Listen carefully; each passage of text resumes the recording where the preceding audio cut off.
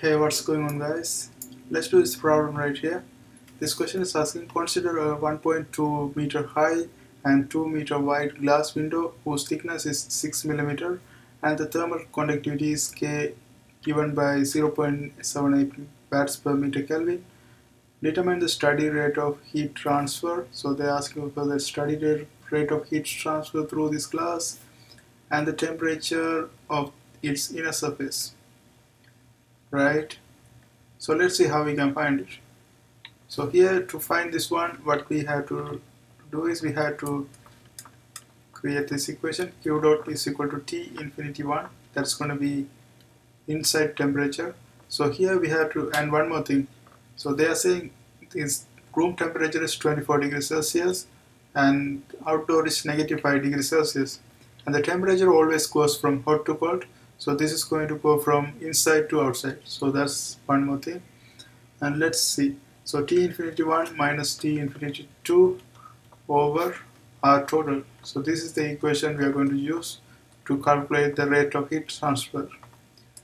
So here we have t infinity 1 that's inside temperature. We already have that one right? And t infinity 2 also we have outside temperature.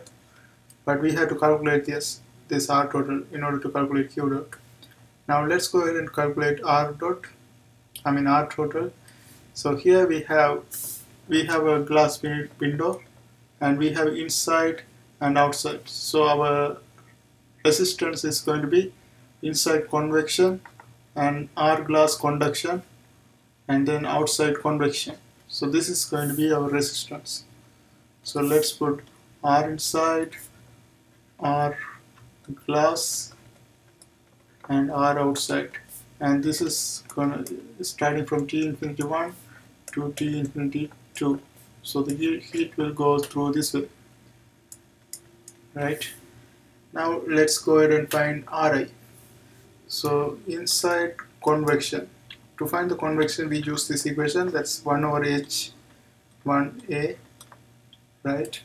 So here we are going to have inside coefficient uh, so heat transfer coefficient inside is going to be 10 and outside is given by 25 so they are saying inner and outer surface of the window to be this one this one respectively.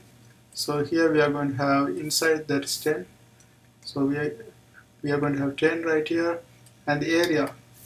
So here they have given 1.2 meter high 2 meter wide so the area is going to be 1.2 meter times 2 meter and that's going to be equal to 2.4 meter square. So this is going to be our area.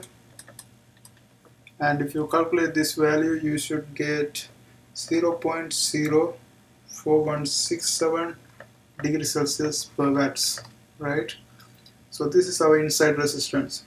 Now let's go ahead and find R glass resistance. So R glass is going to be equal to so here we have conduction right? Since we have glass we, we are going to have conduction. To find uh, conduction resistance we use this equation L over Ka L is going to be thickness. They have given in millimeter. If we convert this one into meter that's going to be 0 0.006 meter over thermal conductivity of this glass that is given right here. That's 0 0.78 78 watts per meter Kelvin multiplied by the area that will be calculated 1.2 meter square and if you find this value you should get 0 0.00321 degrees Celsius per watts right? So this is what you what you should get. You can write this one watts per meter Kelvin watts per meter degree Celsius both of them are going to be same thing right? So here we get this one and now let's go ahead and find the outside resistance. To find the outside resistance again this is convection. So convection equation 1 over H2A and this is going to be 1 over outside convection is given by 25 watts per meter square Kelvin. 25 times area is 1 oh here area is 2.4 but the calculation is right 2.4 and then if you calculate this one you should get 0.01667 degrees Celsius per watts. So this is what we have. Now this is in series right? So since this is in series series we can directly add them to find the R total. R total is going to be simply addition of these three so first we have to get add Ri then R glass and then we have R outside. And let's go ahead and add them.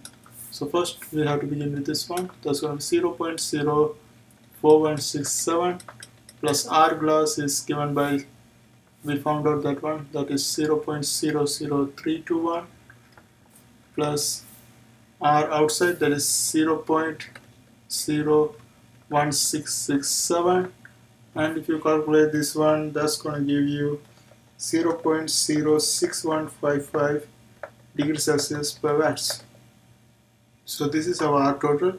Now we have all the information. So we have found out R total.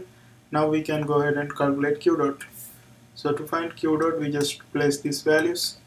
So this is going to be T infinity 1 that is 24 24 degrees Celsius minus then we have outside temperature that is negative 5 degrees Celsius over R total that is this value 0.06155 degrees Celsius per watts.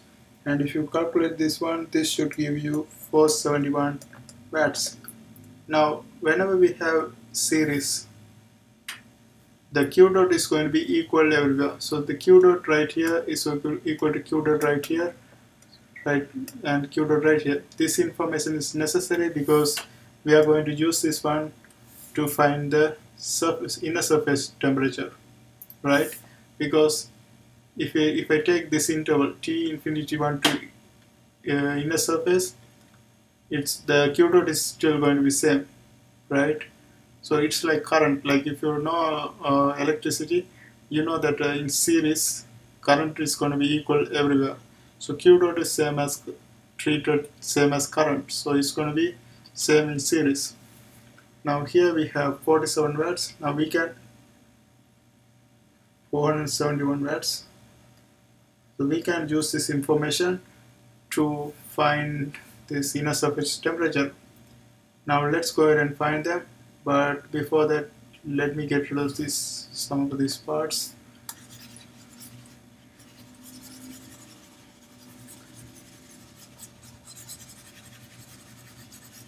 you know I erased this part but we know that we, we, we want to know this inside resistance that we calculated already. That is this value right here. So we have that one right here. So we have to use this one because this is the only resistance between this uh, inner surface and this outer convex I mean inner convection. So let's go ahead and find the inner I mean the temperature in the inner surface. So to find that one again q dot is equal to t infinity 1 in this case I'm going to use instead of T infinity 2 I'm going to use T1 because that is surface temperature over R inside right? Now we know that so we are trying to find T1 let's rearrange this equation. So Q times Q dot times R I is equal to T infinity 1 minus T1 therefore T1 is going to be equal to T infinity 1 minus Q dot Ri right? So this is going to be our equation. Now T infinity 1 is 24 degrees Celsius. So let's plug them in right here. 24 degrees Celsius. Then Q dot is 471 watts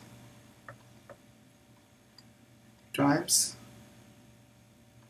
our inner resistance that is 0.4167 so this is going to be 0.4167 and that unit is degrees Celsius per watts.